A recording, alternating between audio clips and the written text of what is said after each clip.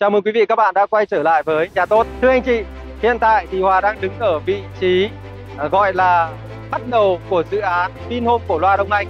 Đây là ranh giới bắt đầu của dự án Vinhome Cổ Loa Đông Anh. Và cái ranh giới của dự án này sẽ bắt đầu bằng cái con sông Ngũ Huyện Khê này anh chị này. Dòng sông Ngũ Huyện Khê này chính là ranh giới để bắt đầu của dự án của chúng ta. Ngày hôm nay Hòa sẽ chia sẻ. Nó sẽ bắt đầu từ bên phía bên kia của bờ sông Hát sang phía tay phải của Hòa đây. Và đây chính là cái đường Hoàng Sa hay còn gọi là đường quốc lộ 5 kéo dài. Và nếu mà anh chị đi từ cầu Vĩnh Tuy, cầu Trương Dương hay cầu Long Biên thì khi mà anh chị đi đến cái nút giao với đường quốc lộ 5 anh chị rẽ trái và sau đó đến cầu Đông Trù thì anh chị đi qua cầu Đông Trù thì sẽ nhìn thấy cái chung cư Euro ở window Bắc kia thì anh chị đi khoảng 500 mét nữa thì sẽ đến cái vị trí mà Hòa đang đứng ở đây. Chính là cái cầu để bắc qua cái con sông Vũ Huyện Khê này. Đây chính là điểm khởi đầu danh giới của dự án của chúng ta. Và thưa anh chị, nếu như anh chị đi từ hướng cầu Nhật Tân, thì anh chị có thể là đi đến nút giao với đường Trường Sa này. Anh chị rẽ phải, anh chị nhá. Anh chị rẽ phải, anh chị đi khoảng 3 km thì sẽ đến với cái vị trí của dự án của chúng ta. Là dự án Vinhome Cổ Loa Đông Anh này.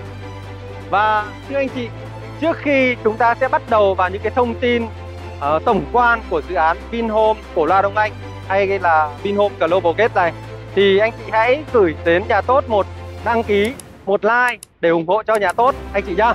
Và ngay bây giờ chúng ta sẽ cùng khám phá những cái thông tin về dự án Vinhome Cổ Loa Đông Anh. Thưa anh chị Vinhome Cổ Loa Đông Anh là sự kết hợp giữa chủ đầu tư Vingroup và công ty hội trợ triển lãm quốc gia Việt Nam và dự án này của chúng ta có cái vị trí vô cùng đắc địa khi mà chúng ta đi vào trung tâm của thành phố Hà Nội thì chúng ta sẽ đi khoảng 10 phút lái xe. Ở vị trí này thì sẽ cách sân bay Nội Bài 20 km. Và từ đây thì anh chị có thể thấy rằng là anh chị đi vào trong uh, sân golf Long Biên cũng như là dự án Vinhome Riverside chỉ khoảng 8 phút thôi, 8 phút. Rất là thuận tiện đúng không anh chị? Từ cái vị trí của dự án của chúng ta, anh chị đi đến cái công viên Kim Quy của tập đoàn Sun Group ấy ở chỗ ngã tư nút giao cầu Nhật Tân với quốc lộ 5 sẽ mất khoảng tầm 5 phút lái xe. Và từ dự án này anh chị đi đến cái thành phố thông minh của tập đoàn PRG cái tòa tháp tài chính ấy, cái trung tâm tài chính của chúng ta trong tương lai ấy, thì chỉ cũng chỉ ờ, cách khoảng 8 phút lái xe mà thôi.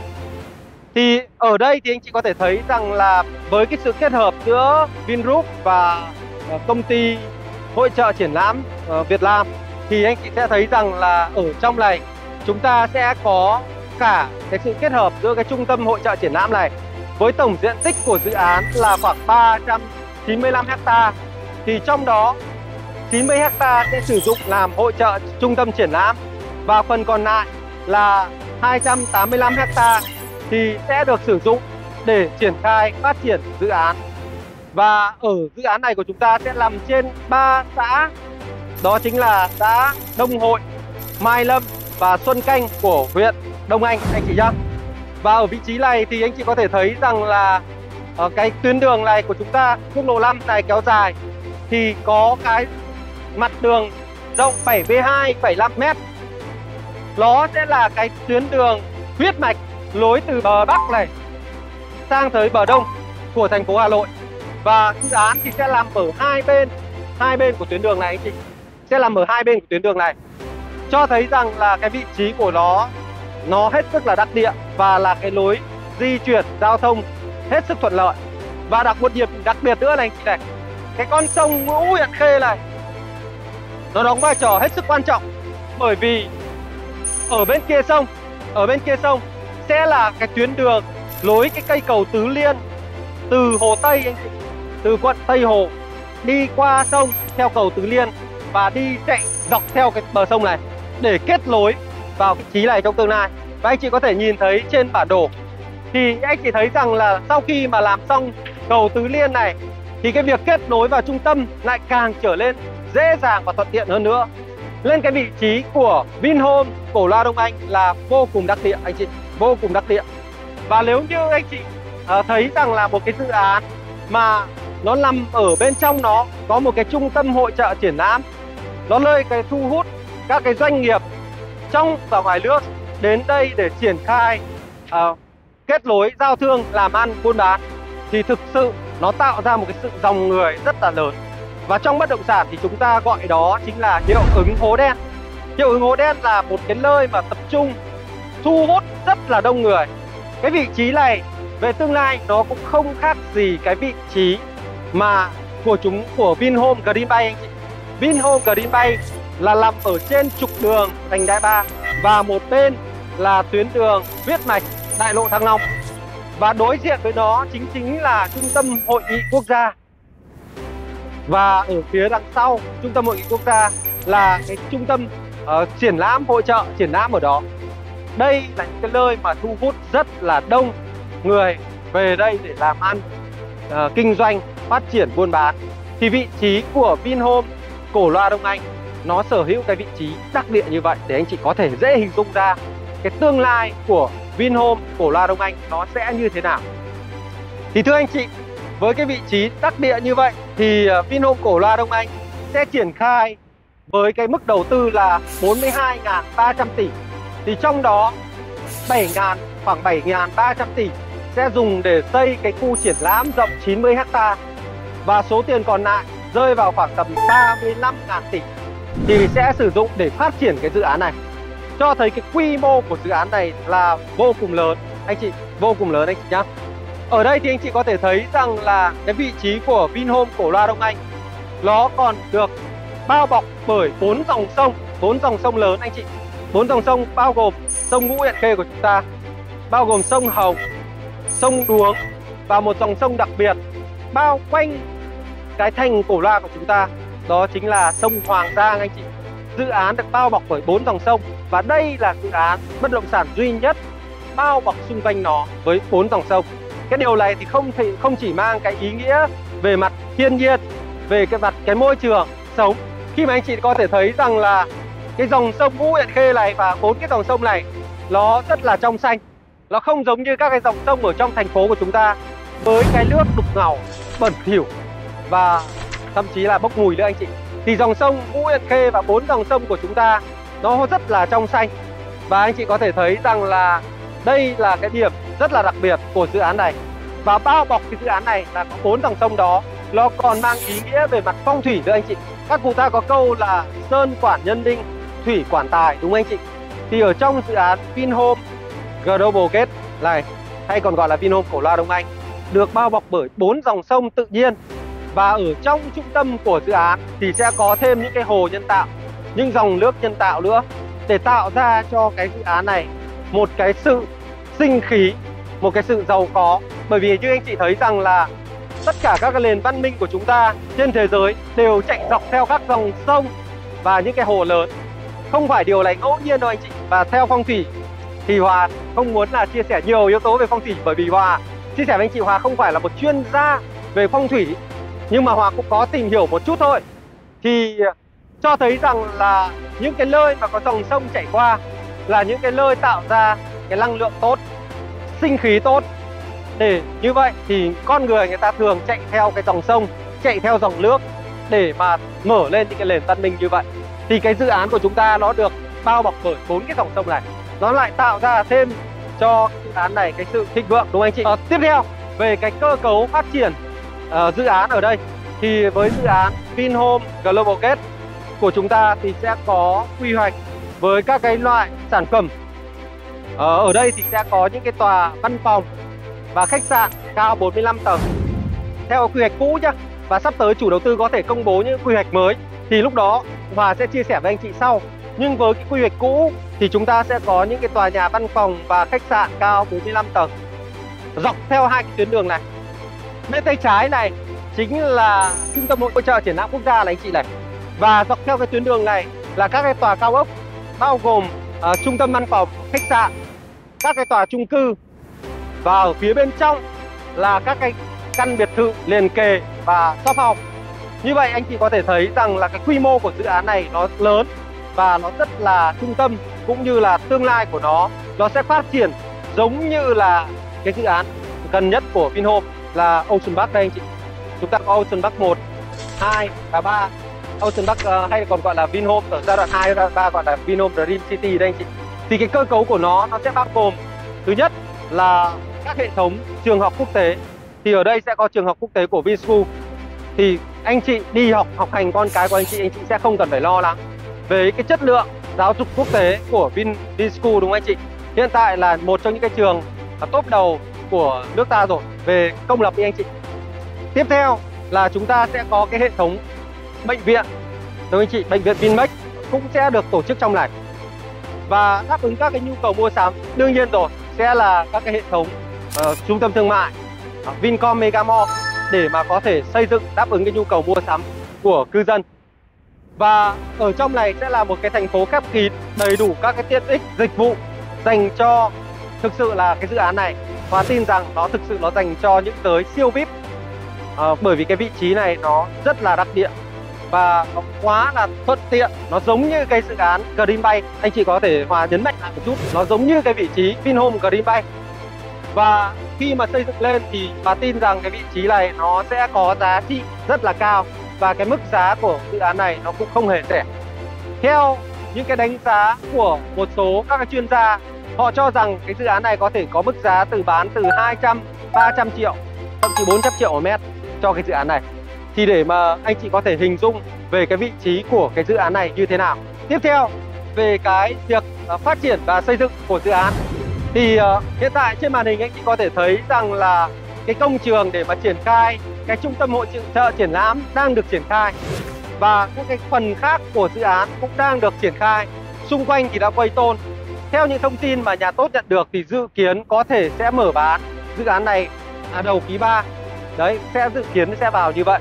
Để cho anh chị biết thêm những cái thông tin cho cái dự án này. Và dự án của và nhà tốt thì sẽ luôn luôn à, tiếp tục cập nhật những cái thông tin mới nhất về cái dự án này. Và nếu như anh chị mà đang quan tâm tìm hiểu đến cái dự án bất động sản này thì hãy like đăng ký kênh để nhà tốt sẽ cập nhật với anh chị những cái thông tin mới nhất về cái dự án này khi mà nhà tốt có những cái thông tin nhiều hơn về dự án này trong giai đoạn tới anh chị nhá. Hiện tại thì Hòa đang chạy dọc theo cái tuyến đường Trường Sa này. Hai bên chính là hai phần của dự án của chúng ta. Và bên tay trái này ở cái phần này là chính là cái uh, trung tâm hội trợ triển lãm quốc gia này anh chị này. Và bên tay phải của chúng ta là phần của dự án. Thì về tương lai chị cứ hình dung là dọc theo cái tuyến đường này này sẽ là các cái tòa nhà cao tầng cao ốc văn phòng và với cái diện tích của cái dự án này lên tới 385 hecta thì anh chị có thể hình dung là cái quy mô của dự án rất là lớn ở đây. Đấy, anh chị có thể thấy rằng là chúng ta sẽ chạy dọc theo cái tuyến đường này và thấy các cái máy móc đang triển khai ở đây. Thì chúng ta sẽ đi một vòng và chúng ta sẽ đi vào bên trong kia để anh chị cùng xem nhá. Bây giờ chúng ta sẽ sẽ phải và chúng ta sẽ đi vào đường để đi vào, trong này là cái xã Xuân Canh này anh chị này. Trong này là toàn bộ cái dự án đây đó. Anh chị có thể thấy rằng là hiện tại là đã giải phóng mặt bằng, đã quây tôn xung quanh cái dự án này rồi. Đó, anh chị có thể thấy xung quanh đã quây tôn hết cái dự án rồi và đang triển khai. Ở trong này anh chị thấy cái khẩu hình camera thì anh chị có thể thấy cái quy mô dự án nó rộng lớn đến mức như nào anh chị. Cái quy mô dự án nó rất là lớn đấy bát hạt bao lá tít càng xa kìa đấy thì anh chị sẽ thấy rằng là cái quy mô của dự án nó thực sự là rất là lớn Thưa anh chị, hiện tại thì Hòa đang đứng ở địa phận xã Xuân Canh, một trong ba xã nằm trong cái cái khu vực của cái dự án này. Và ở đây chính là cái trường cơ trung học cơ sở Xuân Canh. Thì anh chị có thể thấy rằng là cái khu vực này là khu vực quê tôn này, là khu vực của dự án. Tức là hát từ cái khu vực này đi ra đường quốc lộ 5B kia thì anh chị có thể thấy rằng cái camera chắc cũng không nhìn thấy cái đường uh, Trường Sa hay đường là đường quốc lộ 5 kéo dài đâu anh chị. Thì có thể là cho anh chị thấy là cái dự án của chúng ta quy mô của nó rộng lớn như thế nào đúng không anh chị? Và vị trí này thực sự là cái vị trí mà nó sẽ là ờ, rất là đặc địa khi mà trong cái thời gian tới triển khai. Và sau đây trước khi mà nhà tốt sẽ gửi tới anh chị những cái thước phim bằng flycam để anh chị có thể nhìn thấy được cái quy mô của dự án này là như thế nào thì nếu như anh chị đang quan tâm uh, đầu tư bất động sản hay là quan tâm đến dự án này thì anh chị hãy để lại thông tin uh, bên dưới màn hình này của chúng tôi có số hotline và cũng như là có đường link mô tả bên dưới video này để nhà tốt sẽ cập nhật với anh chị khi mà có những cái thông tin chi tiết về các loại hình sản phẩm biệt thự liền kề và shop house cũng như là căn hộ ở đây thì sẽ gửi tới anh chị những cái thông tin để anh chị có thể nắm bắt được một cách kịp thời và à, nhanh nhất anh chị nhé. Và bây giờ xin mời anh chị chúng ta sẽ cùng xem cái video về flycam để chúng ta thấy được cái quy mô của dự án này là như thế nào.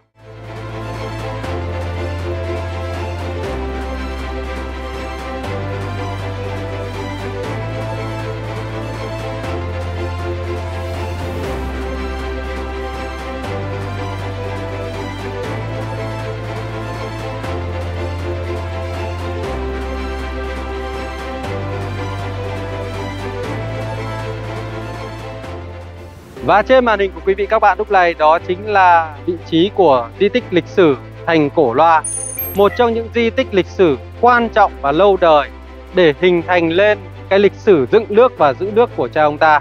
Và chỉ cách dự án Vinhome Cổ Loa Đông Anh khoảng 3 km Bây giờ, nhà tốt và Hòa sẽ cùng mời anh chị chúng ta sẽ cùng đi tham quan di tích thành Cổ Loa. Anh chị nhá, Tôi kể ngày xưa chuyện bị châu, Trái tim tầm chỗ để lên đầu lò thần vô ý, trao tay giặc, lên lỡ cơ đồ tắm biển sâu.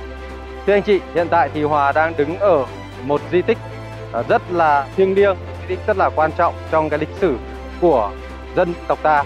Đó chính là đền thờ đức vua, một trong những đức vua đầu tiên của chúng ta là đức vua an dương vương. À, và cái thời xa xưa, cái thời lập quốc của chúng ta, ngài là người đầu tiên đưa cái kinh đô của chúng ta xuống cái vùng đồng bằng à, của châu thổ sông hồng này và phía bên tây đây của Hòa. Đó chính là giếng Trọng Thủy. Thì chắc hẳn anh chị đã nghe về câu nói uh, hay là những cái tích về uh, câu chuyện tình Mỹ Châu Trọng Thủy đúng không ạ? Thì anh chị cũng đã từng nghe rồi. Và ở đây chính là đền thờ của Đức vua An Dương Vương. Và ở bên tay trái kia cách đây rộng khoảng tầm 200 mét rẽ bên tay trái đó chính là đền thờ của ngài Cao Lộ Hầu là một vị tướng quan trọng trong cái lịch sử của đất nước Âu Lạc thời đó. Ngài là người phát minh ra nỏ thần, hay chúng ta gọi là lò thần đấy ạ. Cái lò mà có khả năng bắn một lần mà bắn được nhiều mũi tên đấy ạ. Và thời đó, cái thời sơ khai của à, đất nước ta thì cái công nghệ đó nó rất là quan trọng với đất nước và ngài đã từng nói rằng là lò thần còn thì đất nước còn nỏ thần mất thì đất nước mất cũng cho thấy rằng là cái tầm quan trọng của cái vũ khí quan trọng này khi mà ngài được ờ, đức vua giao cho trọng trách thì ngài là người chấn thủ ở hướng bắc cái hướng quan trọng của thành của chúng ta. Và ngài cùng với đức vua đã ừ, chống lại nhiều cuộc xâm lược của quân triệu đà đúng không anh chị? Anh chị đã đọc lịch sử và anh chị cũng đã xem. Và ngài cũng là người góp phần uh, chọn cái địa vị uh, cái vị trí của uh, cái thành này ở cái vị trí của cổ loa đông anh này hiện tại để đặt cái cái vị trí làm cái thành cổ loa cái vương triều của của nhà vua tại đây. Và cái công cuộc để mà xây cái thành lũy bao bọc xung quanh uh, cái thành này thì cũng có góp công rất là lớn của ngài. Và chắc hẳn là anh chị từ xưa anh chị đã đọc trong sách lịch sử hay là uh, trong cái sách giáo khoa của chúng ta thì về cái câu chuyện mà khi mà nhà vua xây dựng cái thành cổ thì có xây đi xây lại rất là nhiều lần nhưng mà cứ xây là lại bị sập đúng không ạ? Thì là câu chuyện luôn luôn gắn liền với thần kim quy gọi là thần à, rùa vàng đấy ạ. Thì là thần đã hiện lên và thần đã bò xung quanh thành rất là nhiều là vòng để mà có thể là chỉ dẫn cho nhà vua để mà có thể xây được thành. Thời đó thì trong câu chuyện truyền thuyết đó thì cứ ở đâu có dấu chân của thần kim quy thì nhà vua xây dựng ở trên đó và giữ được cái thành này uh, rất là vững chãi. Và đi vào bên trong sau khi mà anh chị đi qua cái ờ, đền thờ của ngài Cao Lỗ Hầu tại sao lại gọi là ngài Cao Lỗ Hầu bởi vì sau khi mà có những công lớn như vậy thì ngài được phong hầu anh chị ạ. Thì rẽ bên tay trái thì anh chị có sẽ đi vào bên trong thêm vào khoảng 200 mét nữa thì sẽ bên trong đó sẽ là đền thờ của Mỹ Châu. Thì cái câu chuyện của nàng Mỹ Châu ờ, con gái của đức vua thì đã được hòa uh, tả ở trong cái phần đầu của cái à, cái đoạn video này đúng không anh chị về một cái bài thơ và bây giờ thì nếu như anh chị đến với à, Đông Anh thì chắc chắn là anh chị hãy đến với di tích thành cổ này được xây dựng cách đây hơn 2.000 năm rồi tức là 100 khoảng tầm vào 170 ờ, năm trước công nguyên thì cái thành cổ này được xây dựng và triều đại của vua An Dương Vương cũng được hình thành từ thời điểm đó. Và chia sẻ với anh chị là cái mũi tên thời đó thì được bọc đồng đấy anh chị, bọc đồng. Và đây là cái công nghệ chiến tranh vào thời sơ khai đó nó rất là ừ, là có sát thương rất là lớn và rất là quan trọng đối với quốc gia. Đó, thì đấy là để chia sẻ thêm với anh chị. Và bây giờ thì xin mời anh chị chúng ta sẽ cùng khám phá, chúng ta sẽ cùng đi xem một vòng quanh uh, di tích ở đây. Và trước khi mà chúng ta đi uh, xem thì anh chị hãy lưu ý rằng ở đầu video này Hòa có chia sẻ rằng là cái dự án Vinhome Global Gate hay Vinhome Cổ Loa Đông Anh được bao bọc xung quanh bốn dòng sông, trong đó có dòng sông gọi là Hoàng Giang. Thì dòng sông Hoàng Giang chính là con sông bao bọc quanh cái thành cổ. Anh chị, quanh cái thành cổ loa này. Để anh chị có thể thấy được là cái vị trí của Vinhome Cổ Loa Đông Anh nó không chỉ nằm ở cái vị trí thuận tiện giao thông chiến lược về cái việc gần mà nó còn mang ý nghĩa uh, về mặt phong thủy và về mặt tâm linh nó được hưởng đúng không anh chị à, Hoa cảm nhận là như vậy và xin mời anh chị chúng ta cùng tham gia đi vào bên trong để cùng xem anh chị nhá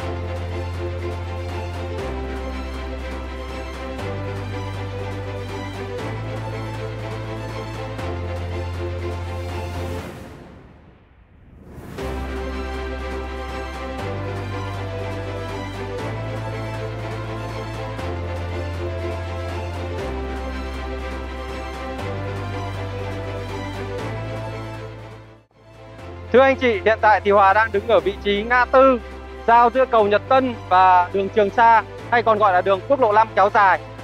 Thì ở vị trí này đó chính là vị trí xây dựng công viên Kim Quy đây anh chị. Công viên Kim Quy là công viên lấy ý tưởng từ câu chuyện về uh, di tích thành cổ loa mà chúng ta vừa ở đó xong và để mà tập đoàn là tập đoàn khởi công dự án này là tập đoàn Sun Group với tập đoàn Sun Group thì anh chị chắc hẳn đã biết đến rất nhiều khu vui chơi, giải trí trên toàn thế giới cũng như là các cái tuyến cáp treo của họ đúng không ạ? Có thể kể đến như là cáp treo Bà Là Hưu này, có thể kể đến như là cáp treo Phan Xi Băng này và có ví dụ như là cáp treo ở ờ, đảo Phú Quốc, ở Đà Lam đảo Phú Quốc thì anh chị đã từng đến đó và trải nghiệm. Thì ở trung tâm ở Hà Nội thì ờ, đây là cái khu vui chơi săn cua có tên là công viên Kim Quy một trong những cái khu vui chơi rộng lớn nhất của cái tập đoàn Sun Group này và lại nằm ở ngay trong trung tâm của thành phố Hà Nội.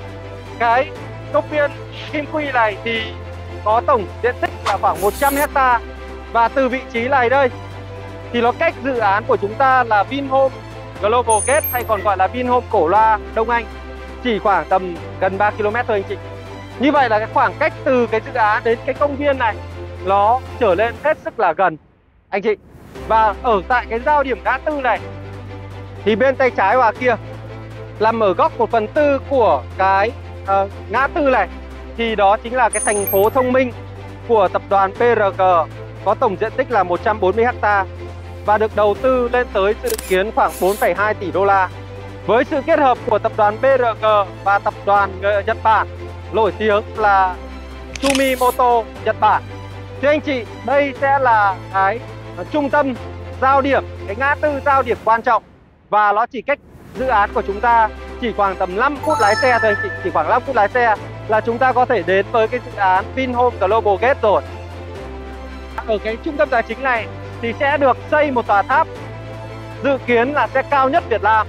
Và đó sẽ là trung tâm tài chính của thành phố Hà Nội cũng như là của cả nước.